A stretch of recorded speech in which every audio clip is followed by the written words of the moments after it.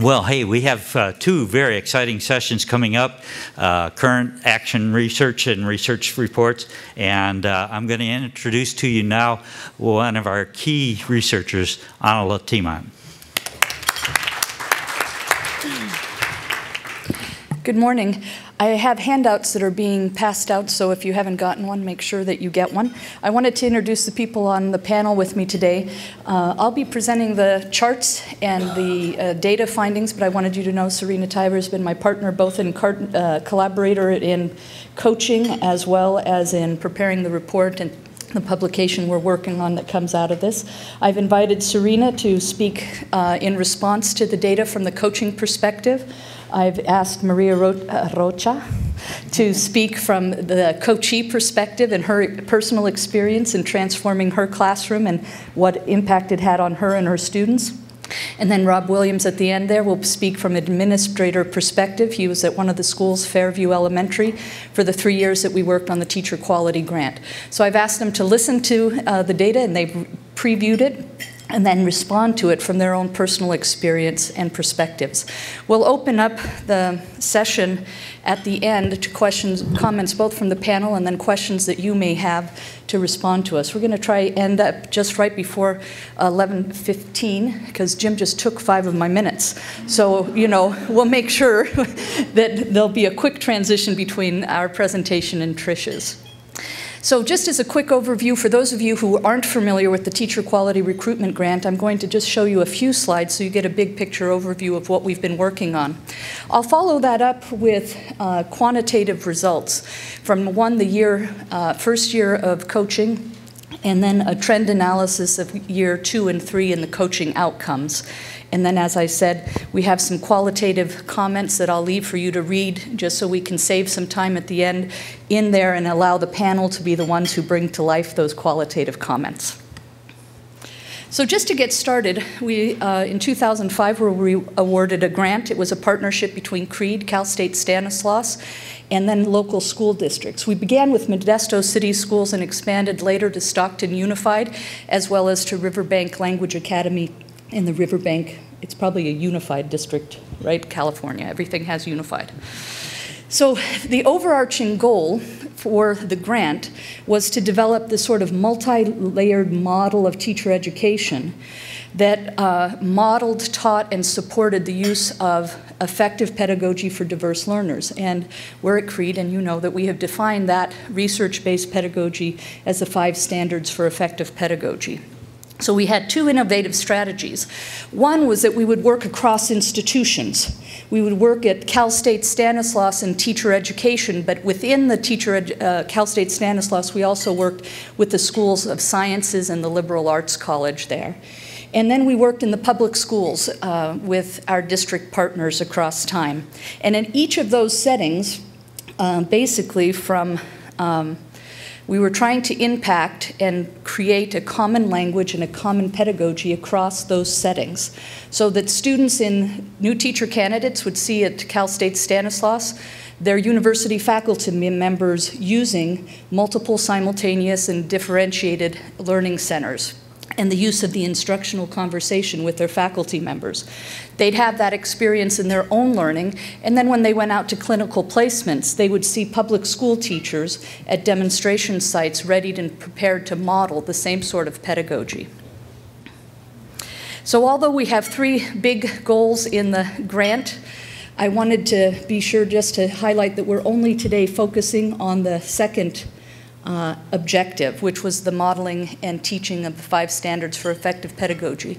And I'm narrowing the results even a little more, and that I'm not presenting the faculty uh, data tied to the coaching we did with university faculty. I'm only focusing on the clinical placement sites we were working in the preparation of. Okay?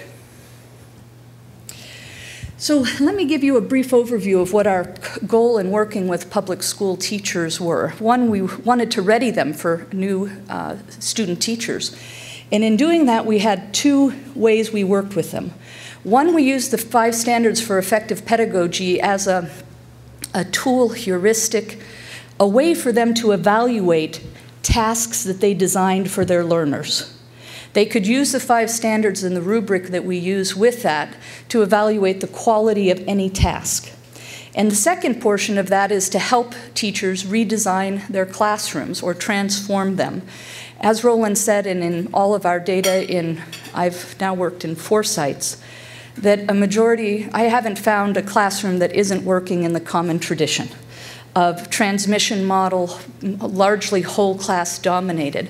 So it's this move that Roland talked about eloquently this morning of uh, moving from uh, the traditional to the half a century or a century and a half use of pedagogy to a new model envisioned uh, with sociocultural theory. That idea that teachers would have access and work with small groups of students on a regular basis to get assistance uh, in their zone of proximal development.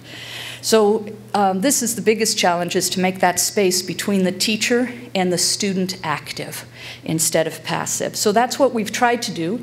In terms of the instructional model, we have the uh, teacher-led instructional conversation we're trying to get teachers to move toward.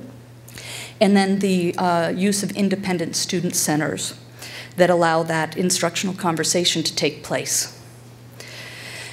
In our professional development work at the Teacher Quality Grant, we used a combination of both intensive workshops and then job embedded coaching across a sustained period.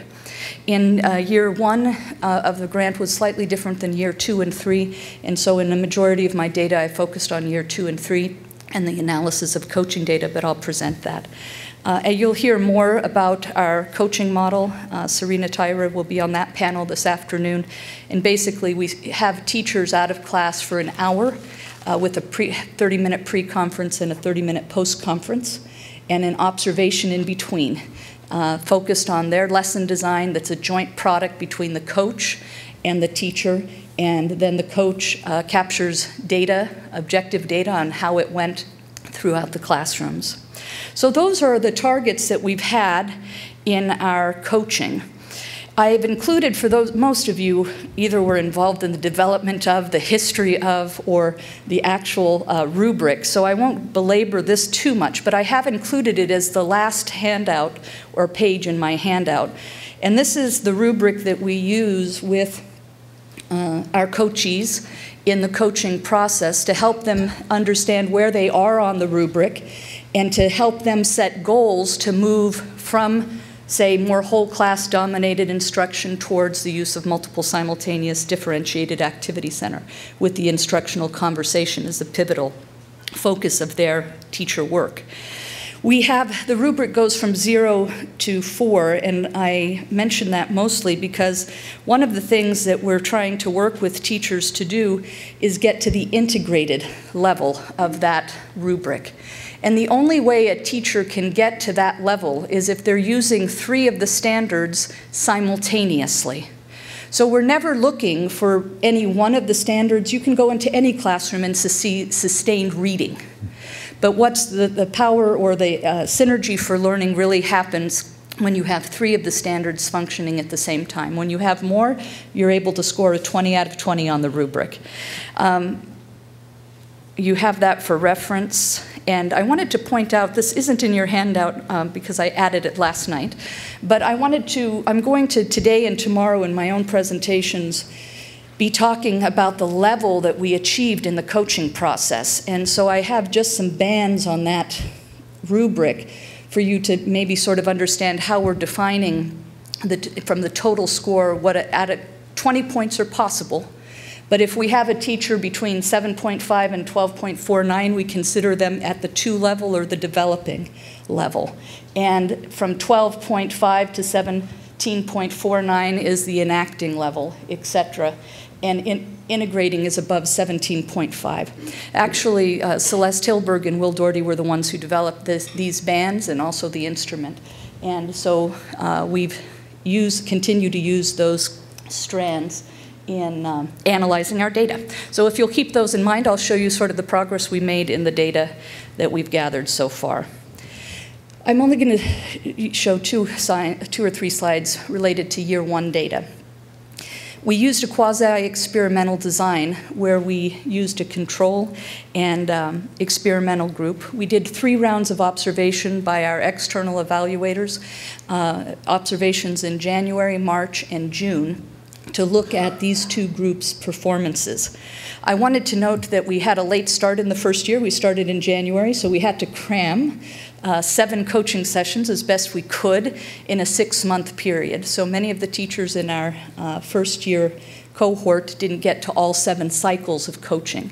And they were also on a year round schedule, which we found to be quite disruptive to the coaching process and orderliness. You know, so we didn't have a lockstep that in March we could guarantee that everybody was on coaching session three or four. So some had their break there and they would be picking up in the third session of that. So I think that's important just to note uh, in the first year. You'll see there on your handout that um, there were significant differences in the uh, control group and the experimental group, uh, ultimately, at the, ultimately, at the, end, but also in the beginning. Uh, I said we had a late start to the first year. So our teachers, our 24 teachers in the first cohort in the experimental group, had already attended five days of workshop two days in October, two in December, and one in January. So the first evaluations were done right after they finished the fifth day of professional development in that week or so after. So one thing we see from the outset is that the workshop created, say, a four-point difference in terms of teachers' performance. If we didn't have job embedded coaching to follow, I think we would only see that level of change between the control group and the experimental group. So as you see, we ultimately ended up with about an eight point spread between the control group and the experimental group. But in that six month period where there was sort of uneven coaching, the highest level, say in the total score mean, was 13.77. And that takes us on that scale just to the enacting level. Remember, integrating is the highest level. So we fell short in terms of that. So I've mentioned these conclusions, you can read them there, but we see the workshop made a difference from the outset. We also see that teachers generally improved in their use of the standards across the, the coaching.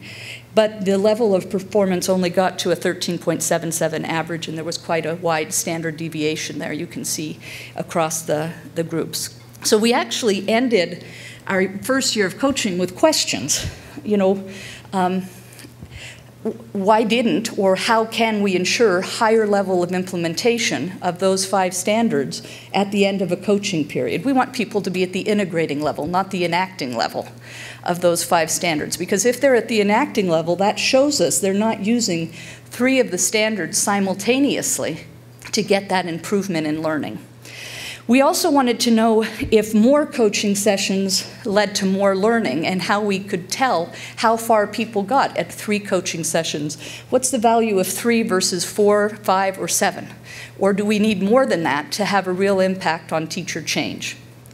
And we also wanted to understand, and that's why I chose to analyze year two and three coaching data, which of the standards seemed to have the quick start? Which ones were the easier for ones for teachers to understand to get a hold of, and which seemed to linger longer and take longer to develop. And so that's the data I'm trying to show you today. Uh, basically, I've done a trend analysis and I'll try to address those three questions I just put up for you from year one. So what's the pattern of development that exists um, across coaching with teachers and the five standards? Overall, first you're going to see that we have a general incline of improvement over time. This represents seven coaching cycles. You can see that cycle one through five showed steady improvement. We have a strange little dip at uh, um, coaching cycle six, and then improvement again in cycle seven. This is, um, I pretty much know where this came from, so I'll give you my best guess, although um, from looking at the data and the dates and when coaching happened. This dip happened to be during the standardized testing periods in the districts. Okay, good. I don't need to say more, do I? Okay, and we'll show when I show you the five standards the impact on instruction, what happens when teachers are teaching for the test rather than teaching for learning. And we'll see that in a minute. So we had a general trend up. Uh, in this, we happen to have a linear pattern and a quadratic pattern. When we look at change scores, you see the most change, the biggest impact for change is between coaching sessions one and two. You see the most direct change or impact. A little bit less in the third coaching session, another gain in the fourth, and a little less. Let me show it to you, uh, of course, the decline there. This is another chart. I think you can see it, I hope, well enough on the bottom. It shows those same details. There's the change score mapped against the total score. So when you see, when you begin a coaching process, you have big leaps in the first two, three sessions, then a steady, albeit smaller progress that takes time and goes across time.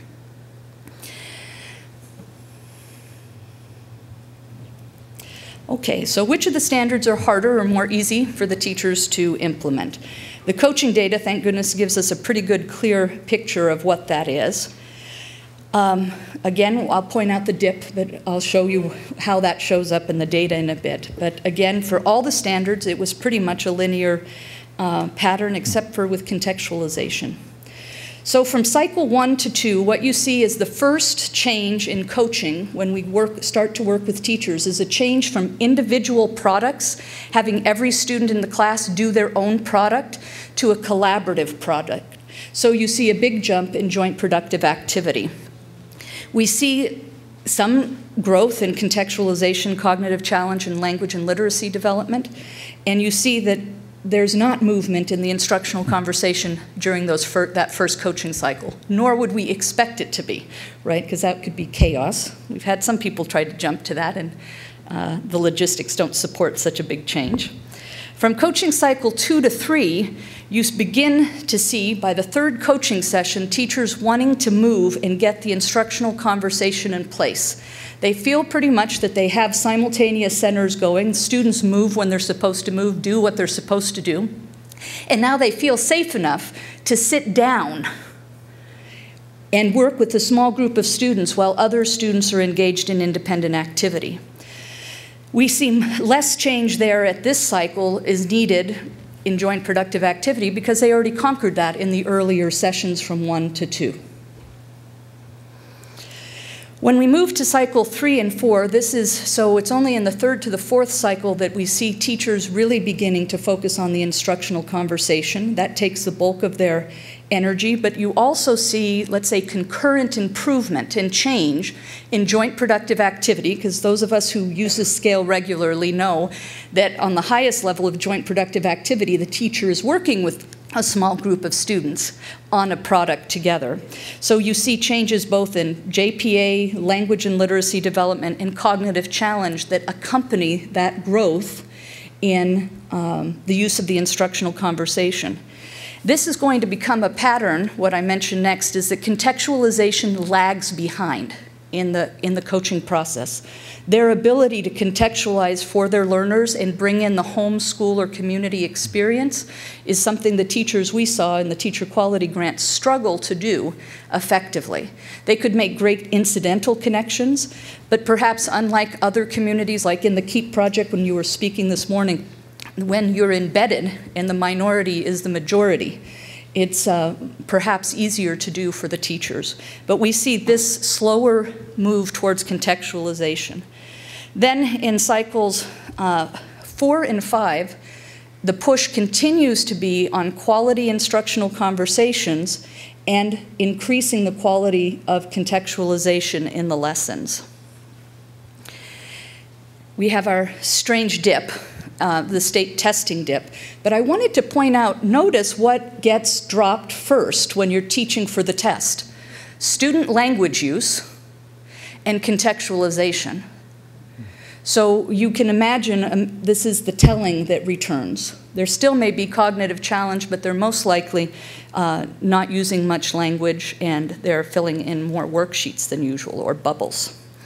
And finally, in um, cycle six to seven, uh, the only, in this context, the only standard that remained in decline that didn't recover from the state testing bounce was contextualization. It was uh, a little bit gratifying to see the numbers that supported uh, the coaching experience that I, Serena, and Christy Revelis have had and had talked as we were going through the process that teachers weren't really grasping contextualization the way we had hoped. And uh, we continue to work on that in our coaching model. So uh, here are the teacher trends in development. I, um, in cycle one, you'll see that teachers rank highest on language and literacy development. I think that's the standard they're most prepared to work with. They're already doing this, they expect to do it in their language blocks, and they score the highest on that. Cycle two then is this focus on joint productive activity, changing from individual assignments to collaborative assignments. In cycles three to four, we see teachers beginning to bring in the, the readiness for the instructional conversation, but it is in the lowest level of implementation. It's not at the highest level where student talk exceeds teacher talk and the teacher is asking for rationales. You just see that they're now seated together having an academic conversation. But the lotus or the um, bulk of talk has not switched to the students making sense and constructing meaning with the assistance of the teacher. Uh, in session four and five, and you can see from three, four to the seven, instructional conversation remains an ongoing uh, concern and interest. And even in cycle seven, the IC and contextualization are the ones still in need of support by the end of the seven coaching cycles. So I think I, I probably said the next side in, in many ways. JPA is the easiest. Teachers are most ready for cognitive challenge and language and literacy development. That makes sense.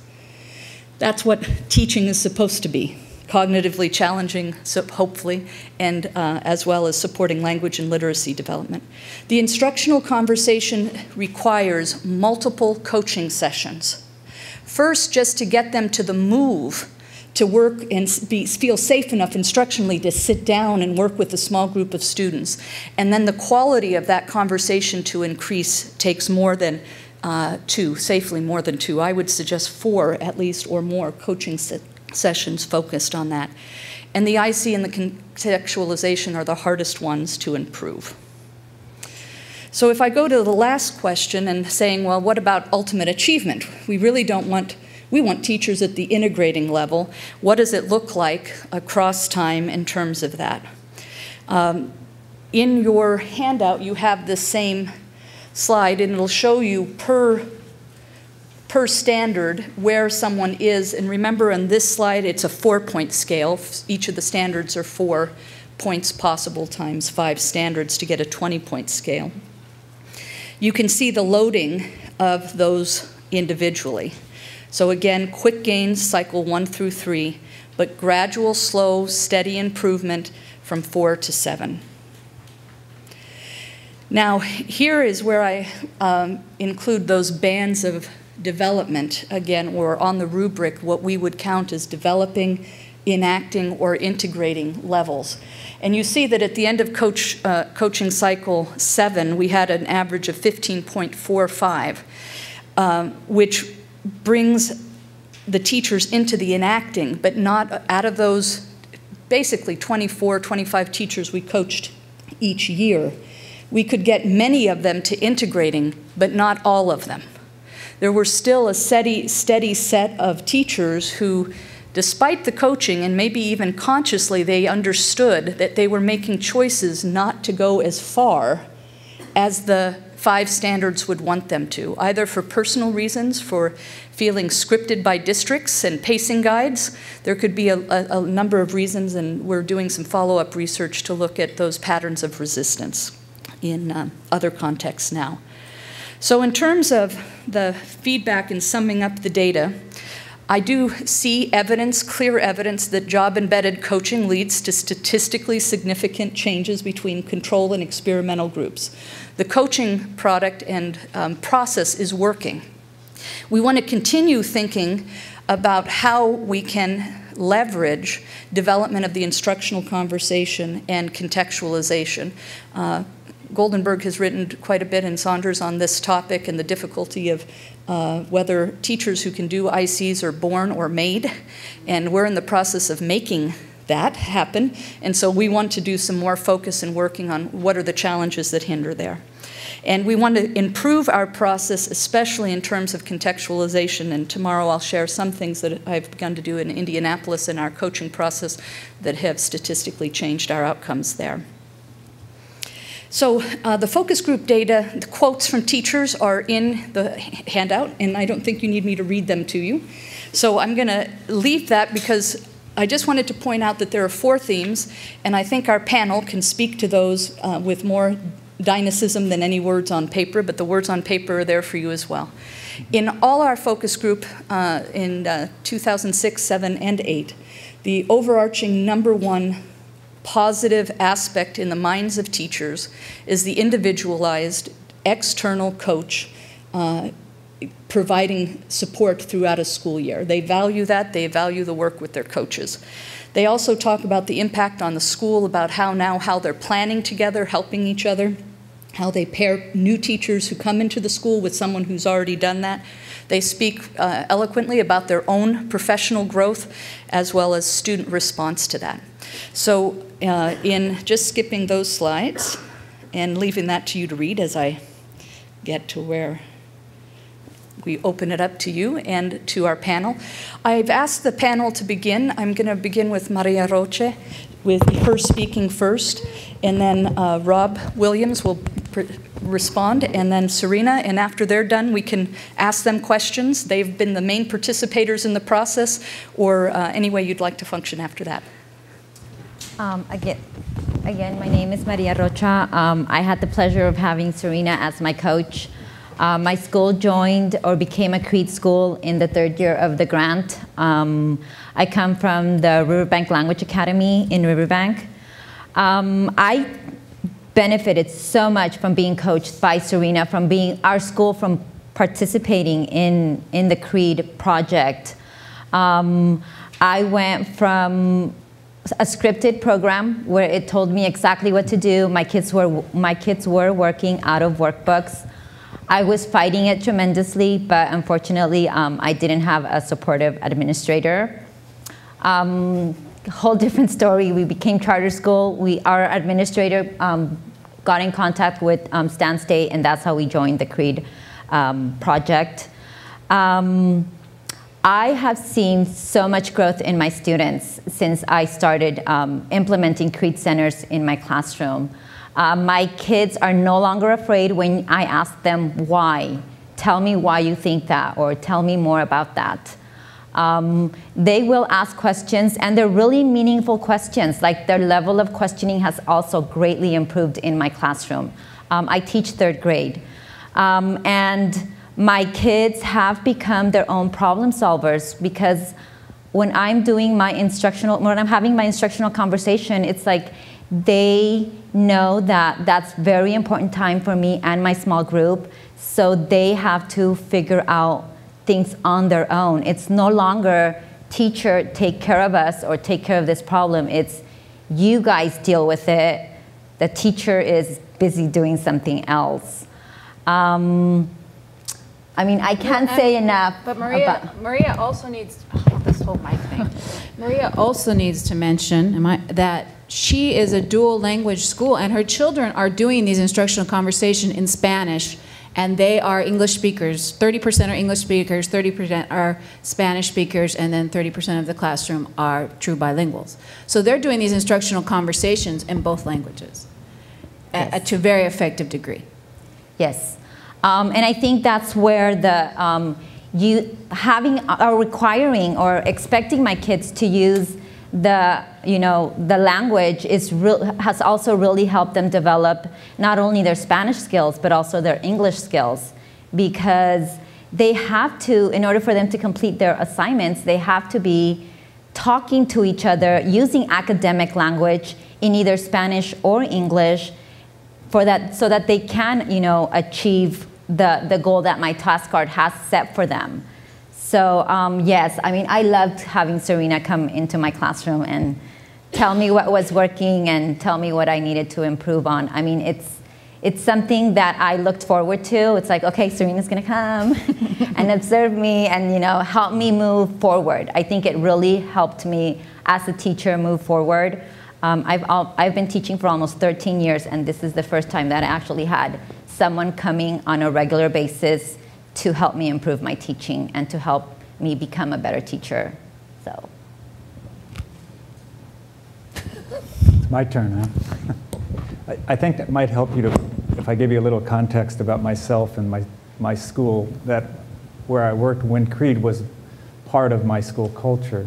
Um, I'm one of John Goodlad's scholars. So John Goodlad has 30 scholars across the United States that are really looking at how to do school differently. So when CREDE came about, I'd, I'd already knew that having a partnership with the university made sense and, and that the pedagogy, a nurturing pedagogy, pedagogy made sense.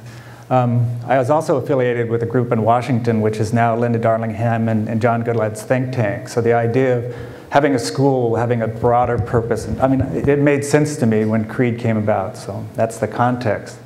Um, I'm in a district that uses clipboards and comes through classrooms to say that 80% of your teachers are using the, are clearly communicating the standard or posting their standards. So my district is very, very uh, rigid, very traditional. So to have CREDE come in was, was something uh, that really helped me. Uh, in a district that I knew it didn't make sense to just simply say, um, in order to get good pedagogy, you tell people, um, here's what you have to do. Now just do it. So for me, CREDE was a wonderful opportunity to change the, the school culture. Um, I had at each year uh, at the most 15 student teachers on campus, and my master teachers um, knew the language that the student teachers were using. So for me, the boom years, boom years of, of my leadership um, were the years with CREDE. I moved from that site to a new site, and I started the year off this year with seven student teachers, and it was a bomb. I mean, it was just a terrible experience.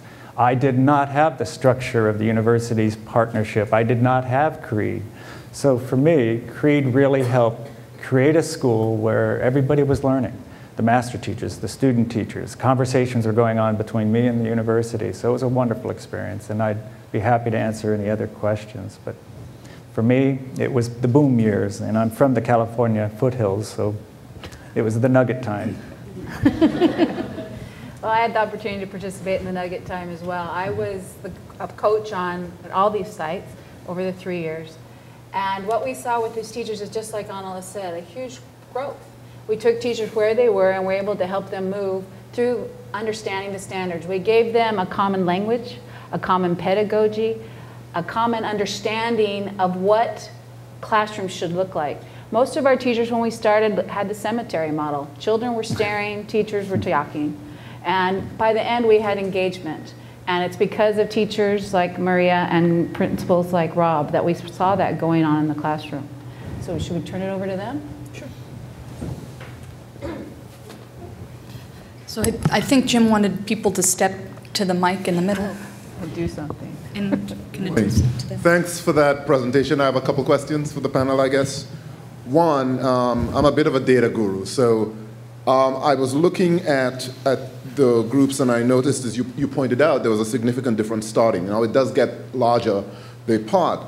I guess one question I'd like you to consider is, is there some sort of base level that teachers need to be at to grow? I mean, so in other words, um, the teachers then who started off higher, were they in a place that allowed them to benefit from the coaching? Um, and the second question is that in a lot of our school reforms, the big concern is the lack of connection between the change in pedagogy and the change in academic achievement as manifested by the way we measure it in test scores and so forth. And uh, uh, do the data match up? Thank you. I, I think at Fairview, uh, Will Doherty showed, and I was able to show my directors and the superintendent that over the three years there was significant growth in English language performance, and this is a 800 students are Latino who speak Spanish as their primary language. But yes, we were, Will showed statistically in English language arts there was movement in the CREDE classrooms, and it only makes sense. There was more student-to-student engagement, Kids got to practice what they were learning, so it wasn't a surprise. So statistically, Will showed it at, at my school. I think one thing, the, the comment you made about is there a starting point where teachers can benefit?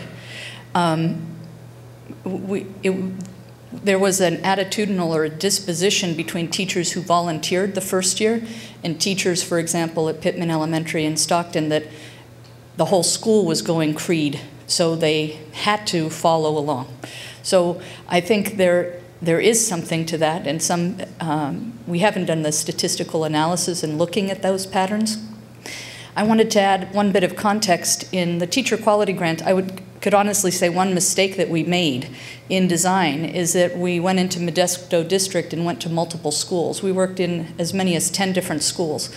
And that's one of the first modifications I made in going to Indianapolis is I've picked three demonstration schools and I'm doing whole school change because uh, it's very different when one or two teachers in a building are trying to change and everybody, they don't have the supports system. So I think that's part of the formula of success. Also, one of the reasons we haven't done student achievement data in, um, I, Jim Burns and uh, Rob and I have talked about an easy way to do that now, looking at Fairview, where we were for three years. Um, but we haven't had time to get to that. But one of the reasons we uh, didn't is that many of the, in the, the evaluator was going randomly to control group teachers and we were coaching in a particular language arts block or science or math, but the controls all didn't match that. And that's something else I've chosen to change in Indianapolis. I have coached only in the language arts and I observe everyone in the language arts, so the control measures are equal or very different because you can have a teacher who teaches one way in language arts and is very different in mathematics depending on their or science in their comfort zone of where what they feel most comfortable with. And so I feel that it was a little bit, we couldn't really just go to the language arts data to show change because they weren't equivalent observations. And we need teachers to be all viewed with the same instrument in the same content area for design. Have a couple of questions too. Um, this one for the principal, Rob, yep. and for Maria, the, the teacher one of the issues in terms of making um, a change for learners is sustainability. And um, one of the, the questions I've always had to grapple with in my head was how do you build capacity and sustain an effort? And actually, you gave two perfect kind of scenarios. One is of a principal who's come from a school that embraced it wholeheartedly and now is moving to another location mm. with no infrastructure in place. And I'd like for you to talk about um, your ideas about how, are, well, if you have them, uh, no, I, how do you go about I'm jumping, I'm jumping at the bit. I mean, I'm, I'm ready. sure he has them. and for Maria, yeah. the grant is coming to a close. So the day-to-day -day coaching that, or the regular coaching that you've been experiencing will be dwindling. And I know that CSU Stanislaus is building capacity in terms of working with the schools, but as a teacher who has experienced this over a few years and now has seen changes in her students, what, from your perspective, can a teacher do or what will you do to help sustain the effort? Do you want to go first? Sure. Um, and I'll try to make it brief, but I'm finishing my first year at a very, very difficult assignment. I mean, I, it took me five months to feel comfortable at this new school. Um, and you can imagine everything you think worse about a school, this is the site. but uh, yesterday we were planning the next step for staff, staff's growth and commitment to one another. And um, there's a book coming out in December of this year called Five Degrees of Freedom by Sam Chaltain in Washington, D.C. He works with Linda Darling Hammond, Five Degrees of Freedom. And it's about answering the question, how do you, how do you build sustainability? It begins with, with the teachers in, in, involved. I believe that we are poised to have people create a system in place of looking at data and talking about best practices and pushing each other. So I believe that I'm giving them an opportunity in June and July, because we start July 8th, this is your school, and I may be gone three years from now, and what's going to be left is your commitment to each other on, on looking at data, measuring progress academically and socially, and I'll stress that socially because our meeting's not just about academics. It's about whether or not, oh, we're going to use the national standards for school climate. That's another group. But this is their school, and I'm there to help facilitate them to get at what you're asking at. I'm only looking at three or four more years at this assignment, and I want to leave with some confidence that they own this is our results, and we have to keep looking at best practices, which CREDE is, I hope, will be at the core of what they're doing. And I think what he just said is really, I think, very unique about my school is that our principal wholeheartedly believes in best practices. Um, he, we are hiring a lot, we have a lot of new teachers joining our, our staff every year. Uh, most of them are former student teachers that have also been trained in CREDE. Um, and I think as a staff, we've embraced CREDE. We believe in it. I mean, we honestly know that this is the how to best teach our students. Um, again, I'm, com I'm coming from a dual language immersion experience, and we want our kids not only to be proficient in English, but we want them to be proficient in Spanish, and hopefully very soon in a third language. So, you know, as a staff, we've embraced CREDE. Everybody, almost everybody, Serena knows what I'm talking about. almost everybody at our school is doing CREDE centers. New teachers um, do work with the veteran teacher, and so we, we have that planning together where um, you are pretty much spreading it. You're spreading CREDE and you're keeping it alive. And I think because we do believe in it, I think it's going to be, it's part of our culture. It's part of our school. It has become part of our school culture where, I mean, if you're not doing CREDE, you, there must be something wrong with you. I wanted to um, add that the people who are here aren't by accident. The schools we've been most successful at have been Fairview, where the principal was a, a, leader in the school and bought into and participated in the workshops that we did. The same th thing happened at uh, Pittman Elementary. The principal showed up every all five days and was part of the system of change at the school that made a difference. And another key factor is Cal State Stanislaus faculty were deeply involved in these sites with us. And so the university public school partnership, not just the external part of CREDE.